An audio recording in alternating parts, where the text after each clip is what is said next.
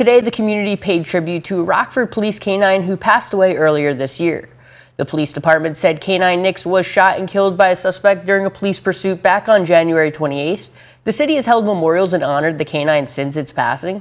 The SM and SF Club with the Rockford Police Department held the memorial ride today, a chance to bring the community together to remember the lost canine.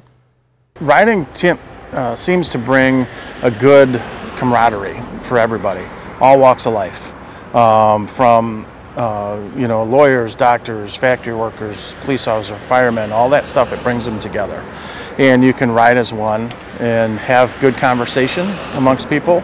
Um, and then they've learned to support things, uh, you know, the veterans, uh, the first responders. The SM and SF Club is a nonprofit social club aimed at supporting various fundraisers and bringing awareness to things in the community.